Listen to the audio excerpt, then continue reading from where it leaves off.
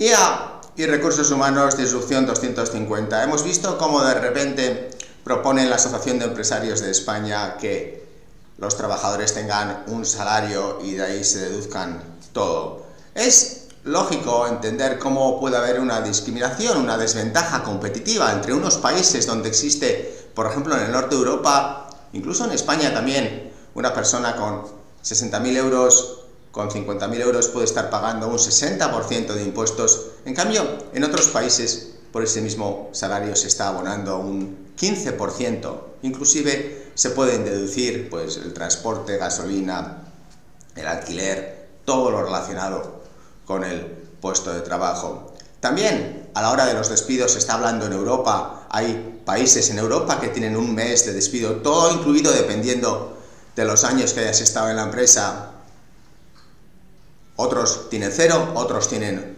muchísimas indemnizaciones. Esto también es una desventaja competitiva. Los empresarios, por lo menos en los flota mercante mundial, comparan cuánto es el salario bruto, el neto en cada país. Por ejemplo, en Filipinas tienen unos descuentos del 25%, en cambio en la India del cero, con lo cual muchas tripulaciones están marchando a la India. Esto es una desventaja. Pero el gran problema que veo yo, sobre todo, es de que no se compara si en una nómina tienes 40, 50 conceptos, eso el trabajador no ve el bruto que cuesta al, a la empresa. Cuando en realidad el empresario sí lo ve, de un país a otro, ve el bruto del trabajador y el neto.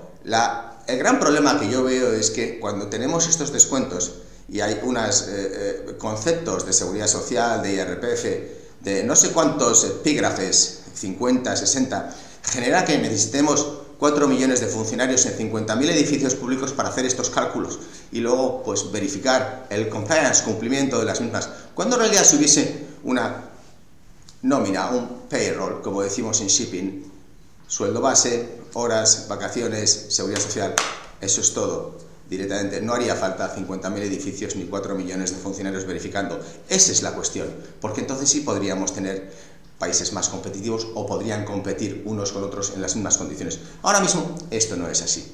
Gracias, saludos, adiós.